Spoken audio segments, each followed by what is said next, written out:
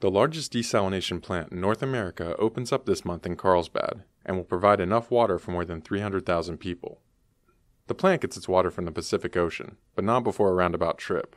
400 to 600 million gallons a day are drawn through the Agua Hedionda Lagoon into the nearby Encina power station to act as coolant. After the warmed water exits the power station, pumps draw 104 million gallons a day for desalination.